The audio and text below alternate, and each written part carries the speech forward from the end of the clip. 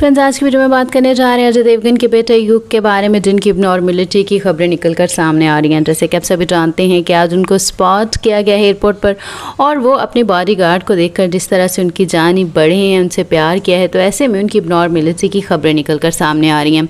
Friends, आपको बताएँ तो इससे पहले एच वगैरह बच्चन की भी बेटी के बारे में इस तरह की खबरें सामने आती थी, लेकिन अजय देवगन के बेटे के बारे में आपको बताएँ तो युग एक बहुत ही अच्छे और प्यारे, सुलझे हुए बच्चे हैं, जिनको देखने के बाद हमेशा से ही फील होता है कि लाडले तो ज़रूर हैं अपने पेरेंट्स के,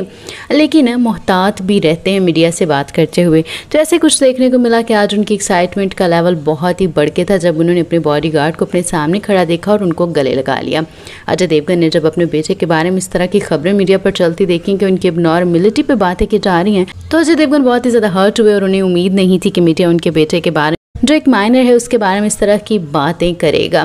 वेल दोस्तों, अजय देवगन और काजल के बारे में आपको बताएँ तो आजकल खबरों में बने हुए हैं। उनकी डिवोर्स के मतलब खबरें निकल कर सामने आ रही हैं। ऐसे में युग को भी घर से बाहर भेजा गया था ताकि घर का माहौल बेहतर हो सके और ये जो खबरें उनके बारे में निकल कर सामने आ रही हैं, ना तो नाइसा में इंटरेस्ट ले और ना ही उनके बेटे को ये सब कुछ पता चले। तो अब जब उनके बेटे घर की जानी ब्लॉट कराए हैं तो अजय देवगन कुछ बेचैन और कुछ सैड भी लग रहे हैं। वाल इससे मतलब कुछ नई अपडेट हमारे पास आती है तो आपके साथ सबसे पहले करेंगे। शेयर बने हमारे साथ थैंक्स फॉर वॉचिंग